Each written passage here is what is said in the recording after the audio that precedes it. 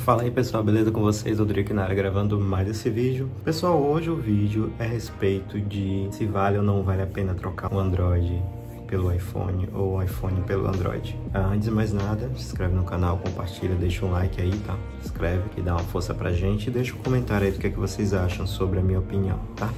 O que aconteceu? Um acidente, tá aqui ó, a situação do meu iPhone do meu iPhone não, do meu Galaxy S20 FE, uh, deixei cair na rua e passou, alguns carros passaram por cima de, do, do, celular. E o que acontece? É, eu me vi na situação obrigado a trocar de aparelho. O S20 FE, ele usava um processador da Qualcomm, né? Da Qualcomm não, acho que se eu não me engano é um Exynos de 8 núcleos. Ele tem 128 GB de armazenamento. Eu tinha, eu tinha colocado um cartão mais de 128, então 256 aí de armazenamento, tá? Sendo que ele pega aí até 512. E assim, é um celular que me servia demais, fazia muitos vídeos aqui pro canal, fotos muito boas. E assim, foi um celular que me serviu aí por uns dois anos, acho que eu devo ter gasto nele, devo ter comprado ele por uns R$ 1.500, R$ 1.800. E assim, foi um celular que eu usei por muito tempo. E agora, é, depois desse acidente, eu tive que pegar esse iPhone, e acabei pegando um iPhone 15, tá? Esse que tá me filmando agora. Aqui a caixinha dele, então tive que pegar esse iPhone 15, peguei ele com 256 GB, tá? E assim, uh, é um iPhone, é um celular muito bonito, é um celular muito bem construído, mas quando eu fui realmente de fato usar ele no dia a dia, eu não vi uma diferença que justificasse, eu não vi uma diferença do, no hardware e, e, no software assim que, que me fizesse justificar a diferença de preço entre esse aparelho e o que eu tinha.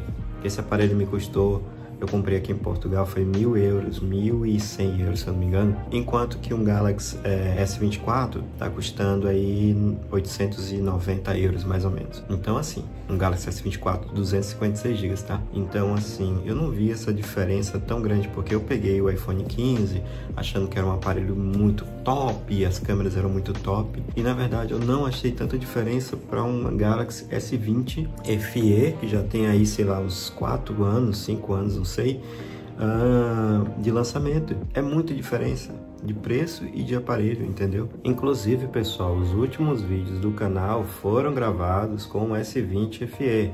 Então, se você quer ter uma noção da qualidade do, da gravação, dá um pulinho no canal e dá uma olhada aí nos outros nos últimos vídeos o vídeo que eu fiz aí do, do notebook do Gigabyte G5 KF. Tem os vídeos também que eu fiz aí do, do gabinete da Pichal também. Todos esses vídeos foram gravados com o S20 FE, só para vocês terem noção aí mais ou menos da qualidade de gravação desse, desse celular, que é um celular de 4 anos atrás. E hoje, se você comparar com um, um iPhone, você vê que acabou aquela diferença tão grande que havia no passado das câmeras do iPhone para as câmeras do Galaxy, por exemplo. Eu peguei esse iPhone aqui, quando você está filmando, você não consegue usar as duas câmeras. Ou você usa a câmera da frente ou você usa a câmera de trás. E isso é ridículo, porque é um aparelho que é muito caro, um aparelho que tem um processador muito bom, tá? E ele não consegue, não faz essa troca de câmeras.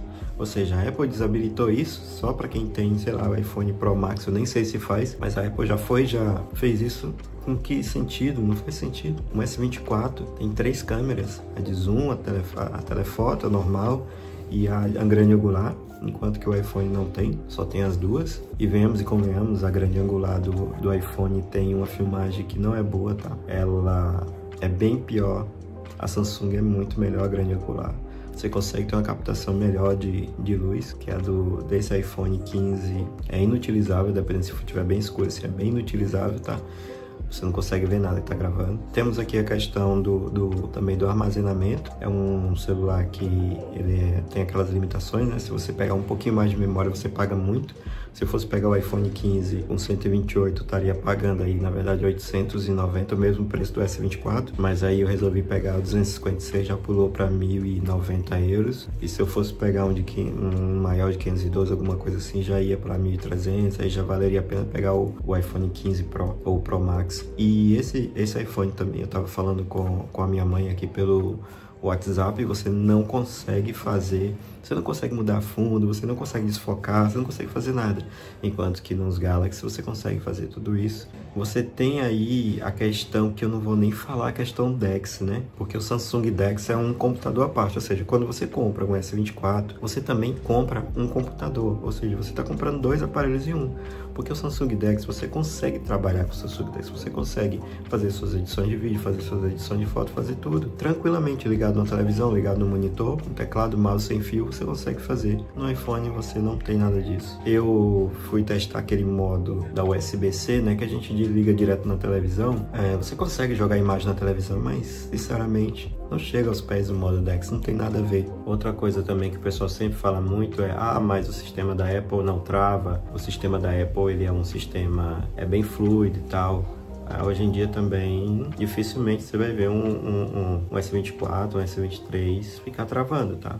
Isso é só uma coisa muito, muito aleatória, assim, porque os dois aparelhos também têm uma fluidez muito boa. O meu S20 eu falo por ele porque eu tenho experiência, o meu S20, ele começou a dar pequenos travamentos, porque também é um celular já de, de 4 anos atrás, um celular que já recebeu muitas atualizações, então eu percebia de vez em quando algum mínimo travamento, mas ele era bastante fluido. Então eu já sabia que já era o momento ali de, depois de quatro anos usando o aparelho, de fazer uma troca por um aparelho novo. É, só não contava que ele ia ser literalmente amassado no acidente, né? Não imaginava que isso acontecia agora, mas assim, entre questão de processamento, entre o iPhone e o Samsung também, se essa for sua dúvida, não tem problema você pegar um Samsung, porque ele não vai ficar travado. É, é um aparelho muito caro, um aparelho que parece que você está pagando mais uma coisa de grife do que um aparelho em si, né? Porque há muito tempo atrás eu venho escutando que o iPhone era melhor para criador de conteúdo, blá blá blá blá blá blá que o iPhone era melhor no Instagram, que o iPhone tem umas câmeras muito foda, tal, tal, tal, tal. E aí quando eu jogo isso pra realidade,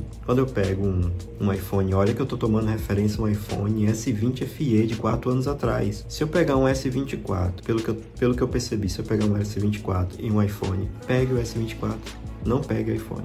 A não ser que você tenha algumas coisas que necessite do iPhone. Por exemplo, se você é uma pessoa que usa aquelas AirTags, eu acho bacana a AirTag da Apple. Se você é uma pessoa que quer fazer o ecossistema da Apple, tá ali junto com o notebook, com os fones de ouvido, então você quer fazer parte de um ecossistema bem bacana, bem fechado, eu acho que vale a pena ali você pegar um iPhone, ou se você é aquela pessoa que preza muito pela, pela, pela segurança dos seus dados, você é um empresário, você é uma pessoa importante, você tem muitas coisas confidenciais ali que, que tem que ser um, uma coisa mais, mais difícil de, de ser invadida e tal, é, vale a pena pegar o iPhone. Agora, se você é um usuário que você quer câmeras, se você quer tirar fotos, se você quer fazer vídeos de viagem, você quer aquela câmera para dar um zoom bacana, você quer um celular com bom armazenamento, você quer uma facilidade de transferência de dados, é, você quer poder manipular o sistema da maneira que você quer, e deixar o sistema à sua cara, da maneira que você acha que é bom para você, principalmente ali na questão de organização dos ícones e tal, ali nos ícones da área de trabalho. Então, assim, pega